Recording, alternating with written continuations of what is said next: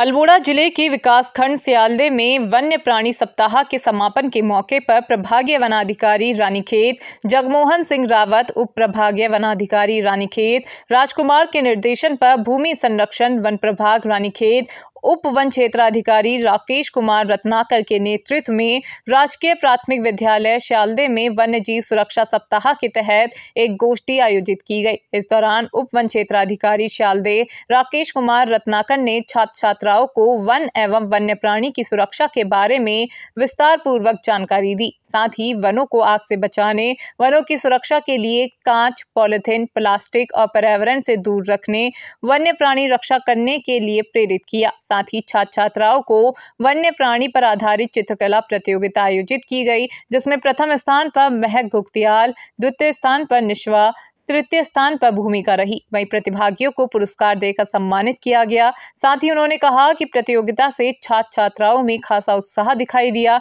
इस मौके पर उप वन क्षेत्राधिकारी शालदे, राकेश कुमार रत्नाकर, ग्राम प्रधान अध्यक्ष समिति प्रतिनिधि शंकर लाल आदि मौजूद थे।